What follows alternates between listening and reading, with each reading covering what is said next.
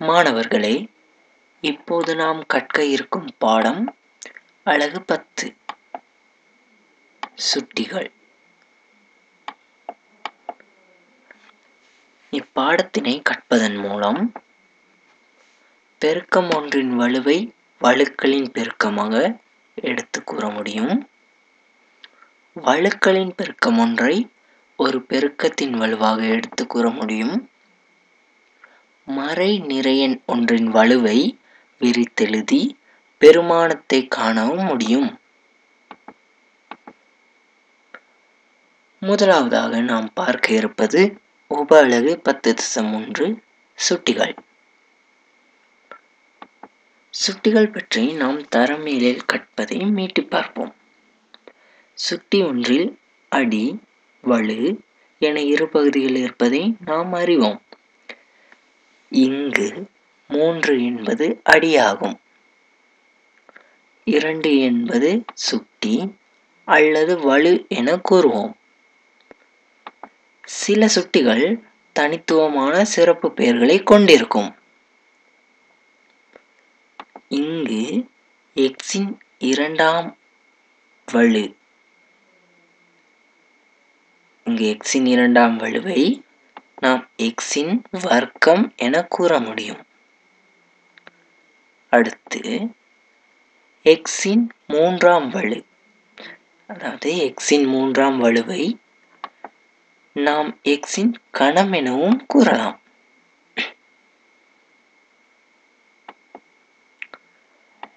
நாம் இப்போது செயற்பாடு ஒன்றை நோக்குவோம். இங்கு மூன்றின் இரண்டாம் வலு தரப்பட்டுள்ளது. அதாவது மூன்றின் வர்க்கம். வர்க்கம் என்பது மூன்றினை இரு தடவைகள் பெருக்கும் போது கிடைக்கும் பெருமானம் மூன்றின் வர்க்கமாகும். ஆகவே மூன்றின் வர்க்கம் சமன் மூன்று தர மூன்று ஆகும்.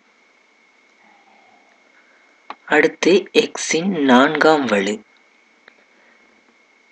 எக்ஸின் நான்காம் வலு என்பது எக்ஸினை நான்கு முறை பெருக்கும் போது கிடைக்கப்படும் பெருமானமாகும் எனவே எக்ஸின் நான்காம் வலு சமன் எக்ஸ் தர எக்ஸ் தர எக்ஸ் தர எக்ஸ் இவ்வாறு எக்ஸை நான்கு முறை பெருக்கும் போது எக்ஸின் நான்காம் வலு கிடைக்கப்பெறும். அடுத்து இப்போது இங்கு காட்டப்பட்டிருப்பது எட்டு எக்ஸ் கணம் y வர்க்கம். இங்கு தெரியா கணியம் இரண்டு பாவிக்கப்பட்டுள்ளன. அவையாவன எக்ஸ் கமா y. மாணவர்களே நமக்கு தெரியும் கணம் என்றால் மூன்று தடவையும் வர்க்கம் என்றால் இரண்டு தடவையும் பெருக்க வேண்டும். எட்டு எக்ஸ் கணம் y வர்க்கம். என தரப்பட்டுள்ளது. ஆகவே எட்டு எக்ஸ் கணம் வை வர்க்கம் சமன். எட்டு தர எக்ஸ் தர எக்ஸ் தர எக்ஸ் தர வை தர வை எனவே எட்டு தர எக்ஸ் கணத்திற்காக மூன்று தடவைகள் எக்ஸ் வை வர்க்கத்திற்காக இரண்டு தடவை வை. மாணவர்களே இதுவரை கற்றதை கொண்டு மீட்டர் பயிற்சியினை மேற்கொள்ளுங்கள்.